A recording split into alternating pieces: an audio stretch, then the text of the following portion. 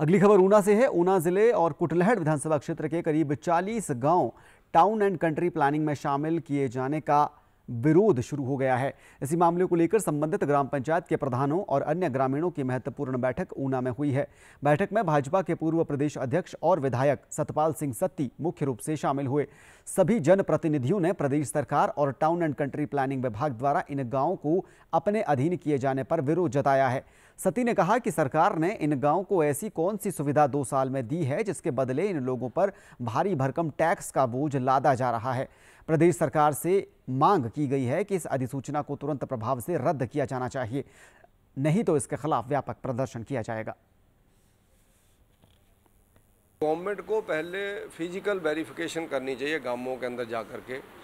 जन सुनवाई करनी चाहिए। लोगों की अगर कोई शिकायत है तो उसको सुनना चाहिए। क्या वो जाना चाहते हैं? टाउन कंट्री प्लानिंग में नहीं जाना चाहते हैं। और गवर्नमेंट जब आ जाएगी तो लोगों को दिक्कतें होंगी, लोगों को अपना घर बनाने के लिए नक्शा पास कराना पड़ेगा।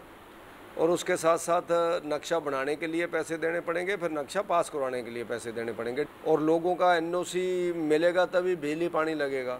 तो गाँव वालों को ऐसी मुसीबत में नहीं डालना चाहिए। तो उस टाउन कंट्री प्लान के अंदर इन 40 ग्राम पंचायतों के छोटे छोटे गाँवों को लेने का विरोध करने के लिए आज हम लोग यहाँ पर इकट्ठे आए